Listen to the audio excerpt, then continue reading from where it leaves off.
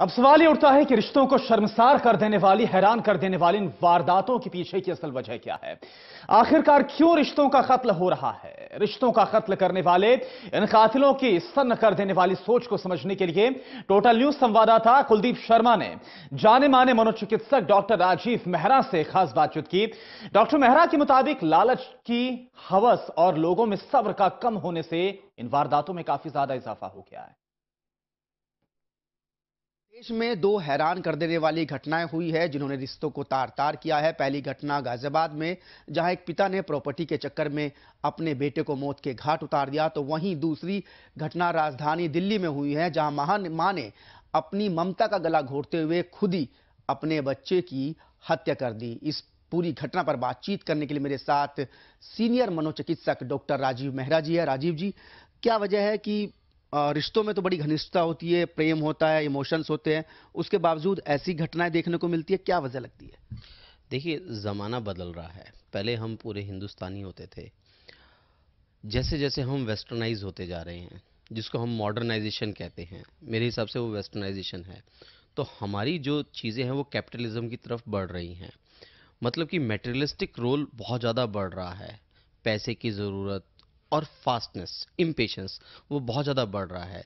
तो कोई भी चीज़ चाहिए, तुरंत चाहिए, और किसी भी चीज़ के लिए चाहिए तो पैसा चाहिए। तो ये जो चीज़ें हैं, ये हमें अल्टीमेटली इस तरफ़ धकेल रही हैं। प्रॉपर्टी के डिस्प्यूट के अंदर डेथ हुई, क्यों? क्योंकि पैसा इन्वॉल्व है। वहाँ इमोशंस ख़त्म होते जा रहे हैं, पैसे की अहमियत बढ़ती जा रही है। दूसरी तरफ़, माँ ने तंत्र मंत्र के चक्कर में अपने आठ महीने के बच्चे की बलि दी। वो तंत्र मंत्र क्यों? क्योंकि कुछ ना कुछ फ़ायदा चाहिए। फ़ायदा कैसे चाहिए? या तो रिश्तों में चाहिए या पैसे में चाहिए या किसी तकलीफ़ से निजात पानी है। और पानी है तो क्यों? जल्दी से जल्दी निजात मिले। तो एक वो एनवायरनमेंट सब्र का ख़त्म होता जा रहा है इम्पेशंस का एनवायरनमेंट बनता जा रहा है। इस कारण ये सारी अभी तक हम देख रहे थे ज़्यादातर घटनाएँ जो प्रॉपर्टी को लेकर होती थी उसमें बेटा अपने सीनियर को जो है नुकसान पहुंचाता था या उनकी हत्या करता था। लेकिन यहाँ पर एक फादर ने बेटे की हत्या की। ये चीज़ किस चीज़ का संकेत दे रही है?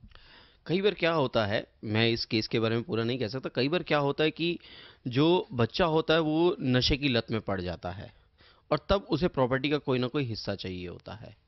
या बच्चा किसी अफेयर के अंदर हो गया, तब उसे कोई ना कोई प्रॉपर्टी का हिस्सा चाहिए, या उसे ऐसा लगता है कि फादर कभी हिस्सा देगा नहीं तो उसे प्रॉपर्टी का हिस्सा जल्दी चाहिए।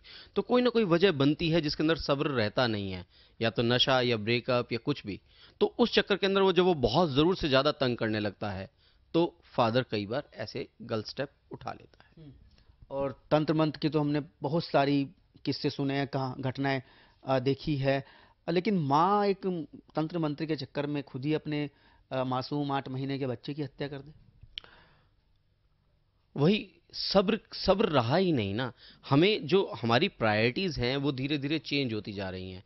माँ की प्रायोरिटी उस वक्त कोई ना कोई और रही होगी। या तो उसे कुछ पैसा चाहिए, या कुछ और चाहिए। और क्योंकि अगर एक समाज भी हमारा डिवाइड हो गया। पहले ज्वाइंट फैमिली होती थी, अब न्यूक्लियर फैमिली हो गई है। ज्वाइंट फैमिली होती थी तो चार लोग समझाते थे कि बेटा ऐसे नहीं करो, ऐसे करो ऐसे करो, ऐसे ठीक होगा, ऐसे ठीक होगा, इसके लिए सब्र रखो, थोड़ा समय लगता है। अब वो चीज़ें जब खत्म हो गई हैं न्यूक्लियर फैमिलीज़ रह गई सब तंत्र मंत्र क्या इतना मतलब असर डाल देता है दिमाग पर कि ममता जैसी एक बेहतरीन चीज़ भी खो जाती है कहीं? बिल्कुल कई बार खो जाती है। वो इतने तरह से प्रभाव कर देते हैं और इस तरह से होप दिखाते हैं उम्मीद लाइफ को जगाती है। इस तरह से उम्मीद दिखाते हैं कि वो ममता भी पार हो जाती है उसके अंदर कई बार। किस टाइप किस किस्म का दिमाग होता है ऐसे लोगों का? किस किस्म के लोग होते हैं ऐसे? इस किस्म ये जो भावनाएँ नहीं समझते अपनापन नहीं समझते ऐसे लोग होते हैं ये जिनके लिए मेटरलिस्टिक चीज़ें ज़रूर से ज़्यादा ज़रूरी हो जाती हैं। हम्म। ऐसे लोग होते हैं ये। हम्म। दोनों दोनों दोनों घटनाओं में? मैं दूसरी घटना में तो खासकर कहूँगा। पहली घटना में अब वो बच्चे का क्या रोल रहा? कि वो खुद नशे में था या किस लिए लिया? तो उसके अंदर भी पिता की भावना कहीं ना कहीं लंबे जाते जाते जाते जाते घिसते घिसते खत्म कैसे इस ढोंग ढोंगी कहा जाएगा? कैसे इन ढोंग से कैसे इन तंत्र मंत्र से कोई इंसान अपने आप को बचा सकता है अपने दिमाग को डाइवर्ट होने से बचा सकता है? देखिए मुख्यतः हम ये कहते हैं कि इंसान एक सामाजिक जीव है। या सामाजिक जानवर है। अगर समाज ही नहीं होगा तो वो सिर्फ़ जानवर रह जाएगा। तो आप अपना समाज बनाए रखें। जो अपनी तकलीफ़ है ऐसे ढोंगी बाबाओं से के अलावा जो आपके आस पड़ोस हैं, जो रिश्तेदार हैं, जो दोस्त हैं, जिनके ऊपर आप बहुत अच्छी तरह विश्वास करते हैं, उनके साथ आप अपनी तकलीफें बांटें। वो आपको एक ज़रिया बताएँगे बाहर निकलने का। अगर आपके पास समाज ही नहीं होगा तो फिर आप क्या करेंगे? कहीं अखबार में पढ़ा कहीं कुछ पढ़ा अच्छा वहाँ पर तकलीफ़ का अंत है वहाँ तकलीफ़ का अंत है तो आप ऐसी जगह जाके अंत ढूंढना शुरू करेंगे।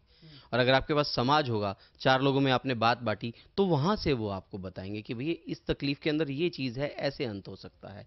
तो सामाजिक होना बहुत ज़रूरी है उसके तो अंदर। बिल्कुल जो डॉक्टर है वो ये मानते हैं कि ऐसी घटनाओं के पीछे कहीं ना कहीं जो सब्र का बाँध, जो टूट रहा है लोगों का, जो गुस्सा है, वो सातवें आसमान पर जा रहा है। एक बड़ी वजह हो सकती है। और डॉक्टर, इसका मर, इस मर्ज का इलाज का रास्ता एक ये बताते हैं कि आपको जो तकलीफ़ है, जो दिक्कत है, उसको आप अगर ज़्यादा से ज़्यादा लोगों को शेयर करेंगे, ज़्यादा से ज़्यादा लोगों के साथ में साझा करेंगे तो आपकी तकलीफ़ भी कम होगी और ऐसी घटनाएँ भी समाज में कम होगी।